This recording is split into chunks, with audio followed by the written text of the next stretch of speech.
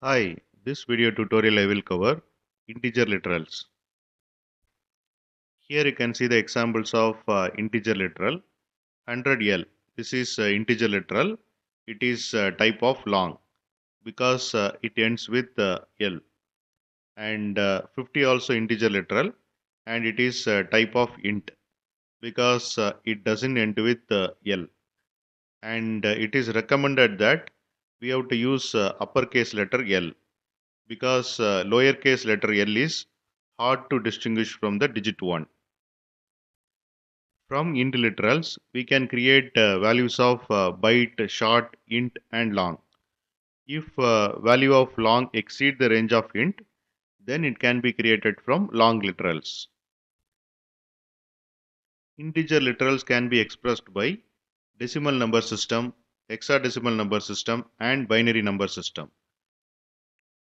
Decimal number system whose digits consist of the numbers uh, 0 through 9 and uh, this number system we use on uh, daily purpose.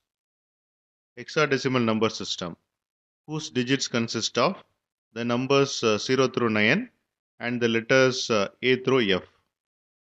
Binary number system whose digits uh, consist of the numbers uh, 0 and 1 and uh, we can create uh, binary literals in Java SE7 and later.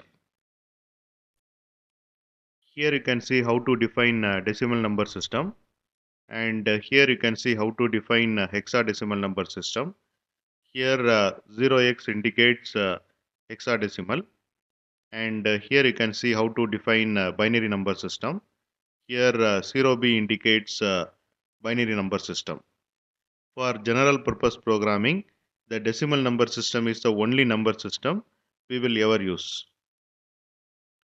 We will see uh, one example now. Here I have defined the class uh, integer literal demo and it has a main method. First I will run this program, then I will explain.